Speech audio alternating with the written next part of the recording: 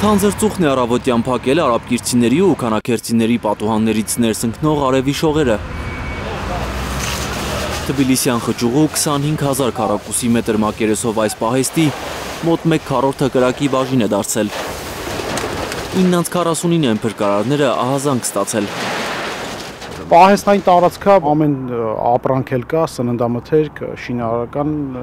ապրանքներ, ընդհանուր պահեստային տարածքը։ Չնայած խեղտող ծխին, մարդիկ փորձում են կրակից փրկել հնարավոր ամեն ինչ։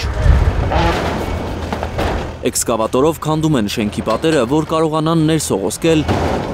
դուրս բերել պահածոների, ընդեղենի, չիպսերի արկղերը։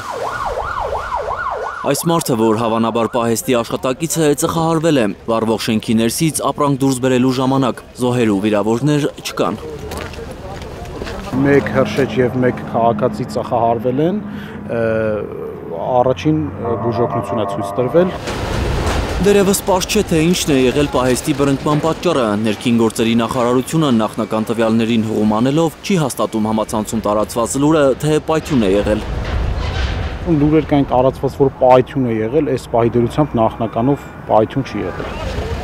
Պահեստի տարածքի մեծ մասը Green Life ընկերությունն է շահագործում, որը հայտնի է գյուղատնտեսական ապրանքների վաճառքով։